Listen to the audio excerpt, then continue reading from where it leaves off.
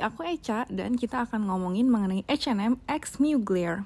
Aku beli paketnya online datang seperti Akhirnya, ini. Aku datang. Yeay. Mugler. Ini close up spiral jeansnya. Detail kancingnya. Sebenarnya celana ini buat cowok, aku pesennya ukuran 44 Eropa atau 30 US. And It fits me perfectly. Bagian belakangnya seperti ini. Bagus sih celananya, aku suka. Next, aku akan cobain atasan apa ya yang cocok buat celana yang udah rame kayak gini.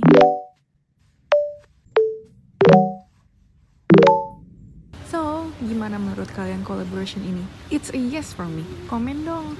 Pada beli juga, dapat nggak yang kalian pengen? That's it for today. Bye.